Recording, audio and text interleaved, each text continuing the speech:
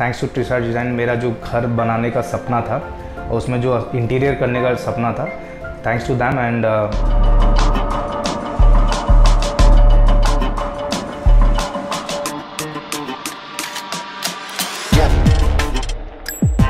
ये जो हमारा प्रोजेक्ट है वो basically turnkey projects type में आता है। सो so, यहाँ पे सिविल से लेके फिनिशिंग तक सब काम इंक्लूड था। ये जो लोकेशन है वो मिरा रोड में जहांगीर कॉम्प्लेक्स में यमुनोत्री बिल्डिंग। सो ये two B H K apartment है। So now will continue with client testimonial myself Tarun मैंने एक नया घर ख़रीदा था और घर खरीदने के बाद मुझे ऐसा लगा कि इसको मैं अपना ड्रीम घर बनाऊँ और ड्रीम घर बनाने के लिए मुझे इसमें बहुत सारा कस्टमाइजेशन करना था। कस्टमाइजेशन करने के लिए मुझे, मैंने बहुत सारे लोकल वेंडर्स के पास गए जहाँ पर मैंने इंक्वायरी किया कि अगर मुझे ऐसा बनाना है तो कितना कॉस्टिंग जाएगा।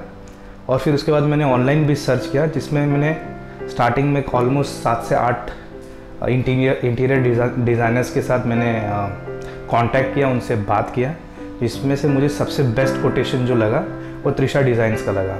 उनका डिटेल लेवल जो भी इंफॉर्मेशन था आई रियली लाइक डिट और सिलेक्ट करने के बाद मुझे त्रिशा डिज़ाइन इसलिए भी अच्छा लगा, क्योंकि उन एज गैप काफ़ी कम है।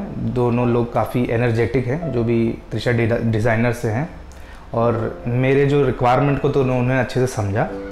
और उन्होंने कॉन्फिडेंस दिया कि मैं ये कर सकते मतलब मैं हम लोग इसको एग्जीक्यूट कर सकते हैं। और मुझे भी काफ़ी कॉन्फिडेंस आया और मैंने इसीलिए ट्रस्ट दिखाया उन पर और मैंने अपॉइंट किया उनको कि मेरा ऐसा ड्रीम होम बनाओ। मुझे टाइमली मैनर पे मेरा घर मिल गया था और घर मिलने पे अगर शुरू करते हैं, अगर एंट्रेंस से तो वहाँ पर जो मेरा शू रैक रखने का जो तो स्टेप में बनाया उन्होंने इट इज़ क्लासिक और ये काफ़ी मैच कर रहा है मेरे रिक्वायरमेंट से। और वहाँ पर जो उन्होंने एब्स्ट्रैक्ट पेंटिंग किया है that is also looks very good और ये मेरे एंट्रेंस को बहुत एनहांस करता है। जो उन्होंने डोर बनाया, उसमें जो भी कस्टमाइजिंग या पेरीफेरल्स लगाया, वो भी काफ़ी अच्छा है। अगर लिविंग रूम की बात किया जाए तो मुझे सबसे अच्छा मेरा मंदिर लग रहा है, जहाँ पे उन्होंने एक्रेलिक शीट और स्टेप्स जो उन्होंने दिया प्लस ये बेल के साथ जो है ये काफ़ी इनोवेटिव और काफ़ी यूनिक और नए मॉडर्न टाइम के लगता है। और जो पैनलिंग के हिसाब से देखा जाए तो मेरा जो टीवी यूनिट का पैनलिंग और साइड राफ्टर्स जो लगा है उससे आ, मतलब मेरे लिविंग रूम का रौनक काफ़ी बढ़ गया है। ठीक है। और किचन में तो काफ़ी अच्छा लगा टाइल्स वहाँ पे और जो आ, लाइट है और जो वहाँ पे पेंटिंग वॉल पेंटिंग दिया है वहाँ पे वो काफ़ी अच्छा लगा।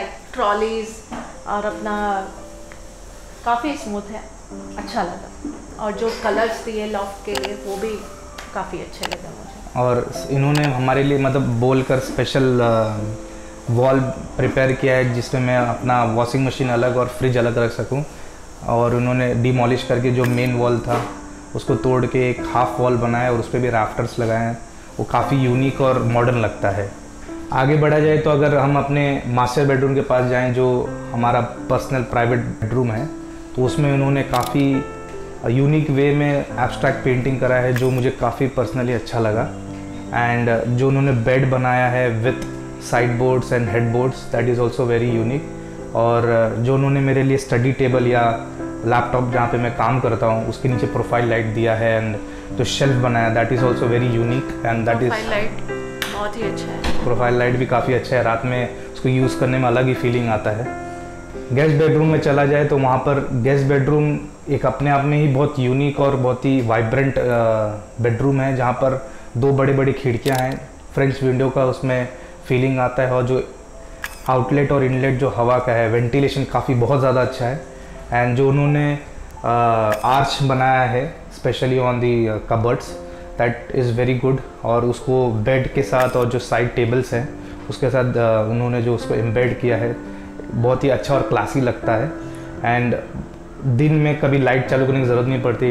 इतना रोशनी आता है बिकॉज़ ऑफ़ दोज विंडोज़ काफ़ी अच्छा है। दो विंडो की वजह से इतनी ज़्यादा लाइट आ जाती है कि लाइट की ज़रूरत ही नहीं पड़ती है। और काफ़ी एनर्जेटिक और कभी ऐसे पॉजिटिव एनर्जी भी आती है। इतना ज़्यादा उजाला रहता है। बाथरूम अगर हम हमारे जो वॉशरूम्स पे अगर बात किया जाए तो वॉशरूम में काफ़ी चूज़ी था यूज़ करने के लिए। मैंने काफ़ी ऑनलाइन सर्च किया कि मुझे ऐसे ऐसे रिजेम्बलेंस में बनाना है, क्योंकि बाथरूम से ही पता चलता है कि घर का कैसे रौनक है। जैसे आदमी का पहचान उसके जूते से होते हैं, वैसे बाथरूम का पहचान से घर पता चलता है कि कैसा है। तो बाथरूम और वॉशरूम हमारा काफ़ी यूनिक है और उसमें जो कलर और सिलेक्शंस है दैट इज़ वेरी यूनिक और उसमें जो पेरीफेरल्स हमने लगाया that is all top class models हो। उसको यूज़ करने में it looks very good and जो भी बाहर से कोई भी आता है हमारे घर पे as a guest they also like bathroom and they मतलब कमेंट ऐसा है कि इट्स ऑलमोस्ट इक्विवेलेंट कि हम कोई एयरपोर्ट पे चले गए हैं वैसा लगता है। इन्होंने जितना भी एग्जीक्यूट किया है जितना भी मेरा रिक्वायरमेंट था ऑलमोस्ट इन्होंने मेरे ड्रीम होम को ऑलमोस्ट उतना एग्जीक्यूट किया है एंड जो भी इन्होंने uh, मेरे साथ टाइम दिया है I really like it and thanks to Trisha design मेरा जो घर बनाने का सपना था और उसमें जो इंटीरियर करने का सपना था थैंक्स टू दैम एंड उसकी वजह से मैं अपना uh, सपना पूरा कर पाया। Thanks to teacher